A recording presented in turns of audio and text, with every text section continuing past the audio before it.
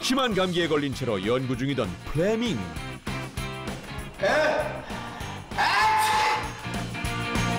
실험 도구를 앞에 두고 기침을 하고 말았는데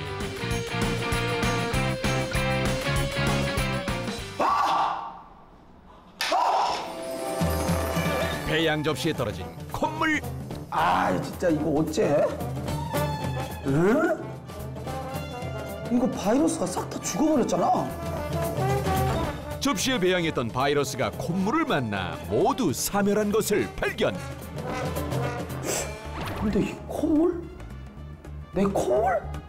이게 시- 신의 물방울인가? 그 뒤부터 콧물을 집중 관찰한 플레밍. 얼마 후 놀라운 발표를 하게 된다.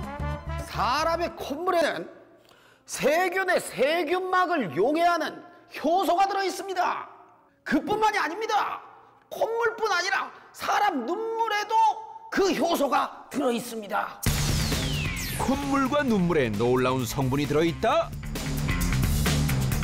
플레밍이 발견한 것은 중요한 생체 방어 물질인 라이소자임이었는데 제가 발견한 이 라이소자임은 체내에 들어온 병균 세포의 막을 터트려서 무력화시켜주는 역할을 합니다. 플레밍은 이 원리로 다양한 백신 개발에 성공했다. 실수로 흘린 콧물로 인해 엄청난 발견을 하게 된 플레밍.